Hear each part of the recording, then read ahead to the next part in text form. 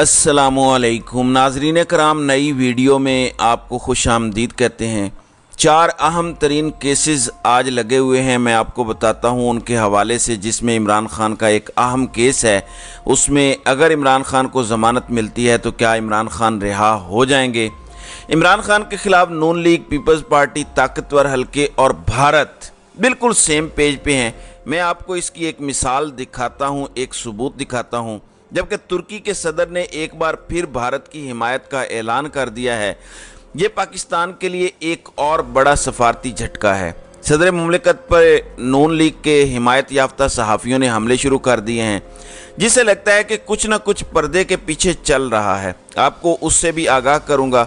सबसे पहले बात करते हैं कि आज चार केसेस लगे हुए हैं। साइफर केस में इमरान खान और शाह महमूद कुरेशी की ज़मानत का केस जज अबुल हसनात जुलकर नैन सुनेंगे।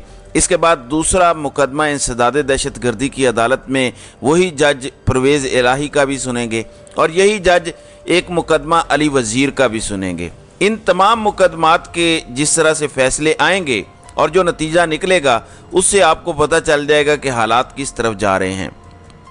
क्राइन यही कहें कि ये जज तो दिलावर प्रो मैक्स है। तो यहाँ से इमरान खान को किसी किस्म का रिलीफ मिलना एक बहुत बड़ा मुआवजा होगा। लेकिन अगर मिल भी जाता है तो इमरान खान के लिए नए केस में गिरफ्तारी की तैयारियाँ मुकम्मल हैं। ये जे नशीन कर लें कि नून लीग के लोग कह रहे हैं कि कम अज़ कम छः महीने इमरान खान जेल में रहेंगे, जबकि कुछ लोग कह रहे हैं कि एक साल तक भी जेल में रखने का प्लान हो सकता है। लेकिन ये इनका प्लान है, ये लाजमी नहीं है कि ये अपने प्लान को अमली जामा पहना सकें। और उसकी मैं आपको वजह बताता हूँ, कुछ दलाइल भी देता हूँ आपको। नजरिन कराम तैयब उर्दगान भारत के यूनाइटेड नेशन की सिक्योरिटी कौंसिल का छठा मेंबर बनने की एक बार फिर हिमायत कर देते हैं। जी हाँ तैयब उर्दगान ने भारत के यूनाइटेड नेशन के सिक्योरिटी कौंसिल मेंबर, यानी मुस्तकिल मेंबर बनने की हिमायत की है। ये पाकिस्तान के लिए बहुत ही शर्म का मकाम है कि जहाँ पाकिस्तान उमा को जोड़ने जा रहा था, इमरान खान की क्यादत में, वहाँ अब उम्मा के लीडरान भारत जाके बैठ गए हैं। खा वो यूएई के लीडर हों, सऊदी अरब के लीडर हों, या फिर तैयब उर्दगान के बयान जो आ रहे हैं कि भारत यूनाइटेड नेशन की सिक्योरिटी कौंसिल का मुस्तकिल मेंबर बने और हम उसकी पूरी हिमायत करेंगे। नाजरीन कराम ये है पाकिस्तान की 16-17 माह की ख़ास तौर पर सफारतकारी और छिहत्तर साल से झूठ मकरो फ्रेब पर खड़ी हुई रियासत का ये एंड रिज़ल्ट है। आपके सामने ये रिज़ल्ट है कि उमा सारी भारत के साथ जाके जुड़ गई है। ज़रा बयानिया चेक करते हैं। ये वो बयानिया है जो पाकिस्तान में नून लीग का, पीपल्स पार्टी का और ताकतवर हलकों का है और भारत का भी है। ये बयानिया आपने समझना है। आपको इमरान खान पे किए गए जुल्म, उनकी हुकूमत का गिराना सब कुछ समझ आ जाएगा इस बयानिए से। इम्तियाज़ गुल एक सहाफ़ी हैं। उन्होंने एक प्रोग्राम किया, उसके जवाब में एक भारतीय सहाफ़ी विक्रम सूद, ये ट्वीट करता है कि आपने सिमार न्यूज़ पे कहा कि अब पाकिस्तान की तरफ़ दुनिया बिल्कुल भी नहीं देख रही। इस, उसका कहना था कि मेरे ख्याल में पाकिस्तान जोग्राफिकली बड़ा एडवांटेज रखता है और ये पाकिस्तान के ऊपर है कि वो इसका फ़ायदा उठाता है या नहीं। दुनिया को नज़र आ रहा है कि अब चाइना से दुनिया जो है वो दूर जा रही है, कट रही है और दुनिया पाकिस्तान को भी खुश आमदीद कहेगी और सपोर्ट करेगी अगर पाकिस्तान भी चाइना से ख़ुद को दूर कर ले।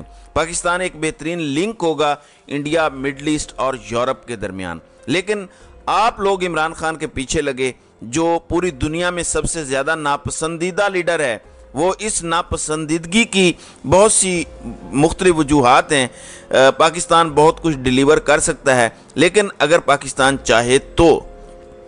ये है नाजरीन कराम रजीम चेंज ऑपरेशन का खुलासा जो इस भारती ने बयान कर दिया है। दुनिया के बड़े बड़े ममालिक ने पाकिस्तान से डिमांड रखी कि चीन को छोड़ो रूस से दूर हटो, हमारे ब्लॉक में आ जाओ। इमरान खान ने एब्सोल्युटली नॉट बोल दिया। और ये रिक्वेस्ट की पूरी दुनिया से कि ना अमेरिका हमें अपने ब्लॉक में शामिल होने के लिए मजबूर करे और ना चीन के ब्लॉक में हम उस तरह से जाएँगे, बल्कि हम सब के साथ ताल्लुकात रखना चाहते हैं। लेकिन ये ऑप्शन नहीं था। अमेरिका ने कहा माई वे और हाई वे और उसके बाद इमरान खान को चलता किया गया और उसके बाद पाकिस्तान को उठा के तमाम करताओं, धरताओं ने अमरीकी ब्लॉक में डाल दिया। रिज़ल्ट इसका यह है कि अब हमें भारत की बालादस्ती खत्े में तस्लीम करनी पड़ेगी। इसकी एक निशानी यह है कि जहाँ भारत जी ट्वेंटी का ज़बरदस्त समिट करता है, जिसकी पूरी दुनिया तारीफ़ कर रही है, जहाँ पे भारत तमाम मुस्लिम उम्मा की सपोर्ट हासिल करने में कामयाब हुआ वहाँ पे भारत जीएसपी प्लस लेने के लिए यूरोप में ज़बरदस्त लॉबिंग कर रहा है। अरबों डॉलर लगाए जा रहे हैं भारत की तरफ़ से। आपको पता है कि ये सब कुछ क्यों कर रहा है? पाकिस्तान की टोटल कोई आठ दस अरब डॉलर की एक्सपोर्ट्स हैं यूरोप से।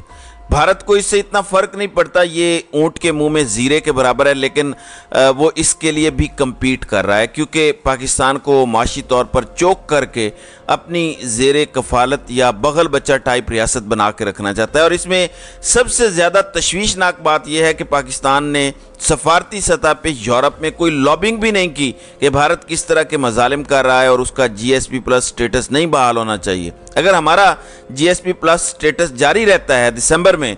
लेकिन अगर भारत को भी मिल जाता है तो 10 अरब डॉलर की एक्सपोर्ट्स हमारी समझें कि भारत को मिल जाएँगी और पाकिस्तान सड़क पे आ जाएगा। उसके बाद शेख चिली वाले जितने मर्ज़ी मंसूबे बनाते रहें, पाकिस्तान वायबल नहीं होगा सिवाय इसके कि आप नौकरी कबूल कर लें, ग़ुलामी कबूल कर लें। तो बड़े तरीके से पाकिस्तान को इस तरफ़ लेके जाया जा रहा है। ये एक ट्रेंड चल रहा है, नाजरीन कराम मेरे पाकिस्तानियों। और आपने देखा होगा कि टिकटॉक पे वीडियोस का एक तूफ़ान है, जो ट्विटर पे भी शेयर हो रहा है, बाकी मीडियम्स पे भी शेयर हो रहा है। आपको पता है कि ये क्या बताता है? कि नेशन अपने लीडर का इंतज़ार कर रही है और उनका दुख है, पूरी कौम को मौन कर रही है सोग मना रही है। इस वक्त पूरी कौम, लेकिन करताओं धरताओं को ये बात समझ नहीं आ रही कि पाकिस्तान को इन गर्दाबों से निकालने के लिए आपको एक मकबूल सियासी लीडर की ज़रूरत है। आपके अपने खाबे भी तब चल सकते हैं जब पाकिस्तान वायबल होगा, जब पाकिस्तान चलेगा, पाकिस्तान खुशहाल होगा तो आपके खाबे चलेंगे। लेकिन इस टाइम खौफ इतना ज़्यादा है इमरान खान का कि अकल ने काम करना छोड़ दिया है। नाजरीन कराम ऐसे में सदर ममलिकत से कुछ मुलाकातों की इतलात आ रही हैं। पहले दो बड़े मिलते हैं जो फैसला साज हैं इस मुल्क के। फिर मोहम्मद अली दुरानी की आ, मुलाकात की खबरें आ रही हैं। फिर आपको पता है इससे पहले सऊदिया के मिनिस्टर मिले थे सफ़ीर भी मिले। तो ये सारी बातें इस तरफ़ पॉइंट करती हैं कि शायद सदर के ज़रिए इमरान खान को पैगाम हो। कि आप भी अब भी आप मुल्क से बाहर चले जाएँ तो बाकी आपकी पार्टी को इलेक्शन लड़ने दिया जाएगा। ये एक तजिया निकाला जा सकता है यहाँ से। लेकिन आज जो कुछ हुआ है, उससे एक और चीज़ सामने आ रही है। वो ये है कि नून लीग से जुड़े तमाम सहाफ़ी आज सदर को टारगेट पे रखे हुए हैं और वो कह रहे हैं कि सदर एक सियासी जमात के लीडर अपने आप को बना के और इलेक्शन की तारीख देने का सोच रहे हैं। उनको पाकिस्तान का सदर बनना चाहिए, सियासी जमात का लीडर नहीं बनना चाहिए, क्योंकि सदर तो विफाक की अलामत होता है और गैर सियासी होता है। तो नाजरीन कराम मैं आपको बता दूँ कि आइन कहता है कि सदर ने तारीख देनी है जब सदर इसम्बली डिज़ोल्व करता है। Whether on the advice of the prime minister या वोट ऑफ़ कॉन्फिडेंस या वोट ऑफ़ नो कॉन्फिडेंस जिस भी वे में अगर कोई भी कामयाब ना हो पाए और कोई भी बंदा क्लियर मेजोरिटी ना ले सके तो सदर अगर असम्बली तोड़ देते हैं तो उसके बाद सदर ही इलेक्शन की तारीख देने की मजाज अथॉरिटी हैं। लेकिन यहाँ पे नून लीग से जुड़े हुए तमाम सहाफ़ी चीखे मार रहे हैं कि सदर को ये तारीख नहीं देनी चाहिए। नाजरीन कराम इनको ख़तरा क्या है? क्योंकि आगे तो अपना काजी आ रहा है। इवन केयर टेकर हुकूमत भी कह रही है कि अगर सुप्रीम कोर्ट ने फैसला कर दिया कि इलेक्शन करवाएँ तो हम करवाने के लिए तैयार हैं। तो अब देखना यह है कि आने वाले चंद दिनों में सदर ममलिकत इलेक्शन की तारीख देते हैं। ये अगला हफ़्ता जो शुरू हो रहा है आज, ये बड़ा अहम हफ़्ता है। अब सदर ममलिकत अपना एक्स्ट्रा टाइम गुजार रहे हैं, उनकी आइनी मुद्दत पूरी हो चुकी है। लेकिन जब तक इलेक्टोरल कॉलेज यानी चारों असम्बलियाँ पूरी नहीं होती इलेक्शन के बाद, उस वक्त तक वो सदर रहेंगे और उन्हें कोई एक्चुअली निकाल नहीं सकता। और सदर का अहदा ऐसा है कि उन्हें हर चीज़ की इम्यूनिटी हासिल है। किसी मामले में कोई भी जुर्म कर दें, उन्हें गिरफ़्तार नहीं किया जा सकता। पाकिस्तान के आइन में इस चीज़ की ममानियत है। तो नाजन क्रम आज का दिन बड़ा अहम है, एक हल्का सा खटका है, मेरे दिमाग में खदशा सा कह लें, ये जो हिंट दिए जा रहे हैं कि क्योंकि इमरान खान जेल में है मुल्क की बहुत सी हॉस्टाइल इन्वायरमेंट है। मोहम्मद बिन सलमान अवॉइड कर रहे हैं। मैंने आपको पिछली वीडियो में बताया था कि वो नहीं चाहते कि वो विलन के तौर पर पाकिस्तान में सामने आए। तो क्या ये साजिशी दिमाग लोग ये कर सकते हैं कि आज इमरान खान की ज़मानत करवा दें, मोहम्मद बिन सलमान वापस जाते हुए यहाँ से होते हुए जाएँ और जब वो चले जाएँ तो फ़ौर ही किसी और केस में उनकी गिरफ्तारी डाल दी जाए। इस दौरान ये हो सकता है कि उनकी ज़मानत होने के बावजूद रोबकार जारी ना किए जाएँ। 24 घंटे का वेट करवाया जाए। जब मोहम्मद बिन सलमान होके चले जाएँ तो उसके बाद दोबारा से उनकी गिरफ्तारी किसी और केस में डाल दी जाए। ये भी हो सकता है, ये बड़े साजिशी दिमाग हैं। मैं आपको इसलिए आगाह कर रहा हूँ ताकि उन तक भी मैसेज पहुँच जाए कि आपकी जितनी भी साजिशें हैं, जितना आपका दिमाग चल सकता है। पाकिस्तान की आवाम अब ये सब जानती है और उनकी आँखें खुल चुकी हैं। जो वो देख चुके हैं, वो अनसी नहीं कर सकते।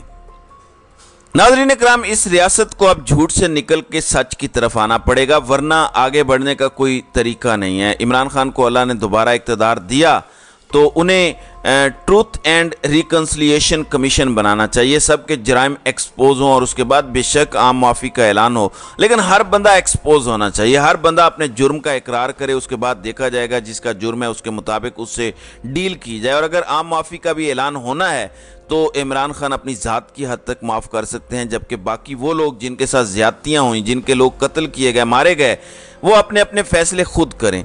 जब ट्रुथ हो जाएगा तो रिकन्सलिएशन तब होगी। जब जो इफ़ेक्टिव पार्टी है, वो माफ़ दे, माफ़ी दे देगी। इसमें जिन जिन लोगों के कत्ल भी हुए हैं, वो अगर माफ़ी देते हैं तो ठीक है। वो नहीं देते तो फिर इन लोगों को प्रोसिक्यूट किया जाए। तो नाजरीन कराम आपकी इस वीडियो के हवाले से क्या राय है? आप अपनी राय का इजहार कमेंट सेक्शन में ज़रूर कीजिएगा।